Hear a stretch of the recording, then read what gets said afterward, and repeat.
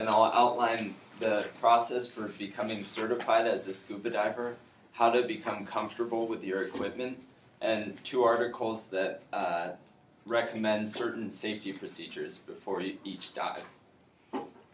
So the first step uh, to becoming certified is to do an online training course. I did the PADI online uh, training course, which is takes a couple hours um, and has a few quizzes. And then once you've completed this course, you go on uh, four different dives. The first dive, all four of them are with a trainer, and the first one is a pool dive. It's pretty straightforward, and you're working with a trainer to understand the equipment, and uh, this will actually be the first time you uh, get to experience breathing underwater. The next three dives are with the same instructor, but actually are held in the ocean. And these three dives will mimic what you'll be able to do once you have your certification.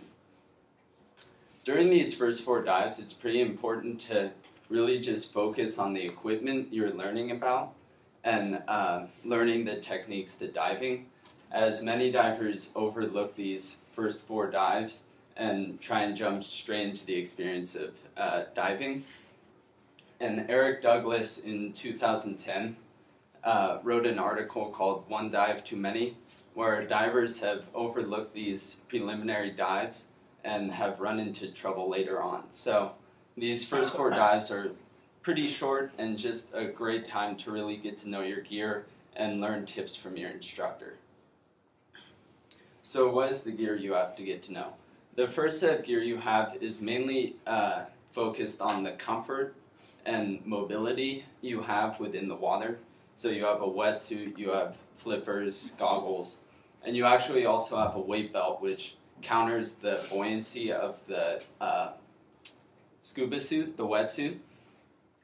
And then for the second set, this is where your instructor comes in.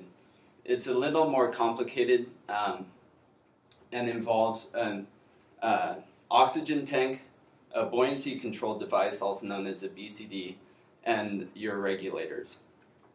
The buoyancy control device is similar to a life preserver, except that you can control the amount of air that's in the jacket, meaning you can control your buoyancy while you're underwater. And this is probably the most difficult piece of equipment to get to know as it holds your air tank and your regulators. So taking the time to get to know this piece of equipment with your instructor is very important. Um, in 2002, a brief article uh, was written by Rodale Scuba Diving, and they highlighted not only the importance of knowing how to assemble your own uh, scuba equipment, but also before each dive, it's very important to uh, check the functionality of your equipment before each dive. And this is a very simple way to ensure that while you're diving, uh, all of your equipment is functioning as it should.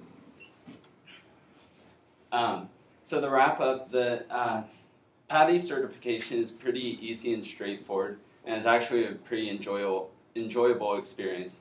It took myself about a uh, five days to complete this course.